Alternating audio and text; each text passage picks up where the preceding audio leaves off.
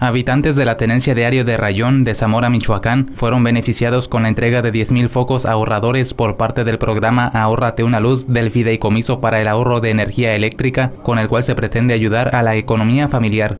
Durante la entrega se mencionó el interés de llevar el mayor número de beneficios a los zamoranos, sobre todo a los sectores más vulnerables. Cada familia recibirá cinco focos ahorradores, lo que se traducirá en menor consumo de energía eléctrica y por consecuencia su recibo de luz llegará con una cuota más baja de lo que normalmente pagan por ese servicio, lo que representa una ayuda importante en la economía de los hogares. La labor de gestión del ayuntamiento será una constante ante las distintas dependencias e instituciones con la intención de llevar mejoras y beneficios a los ciudadanos, como fue el caso del fideicomiso para el ahorro de energía eléctrica que favoreció a la localidad de Ario de Rayón.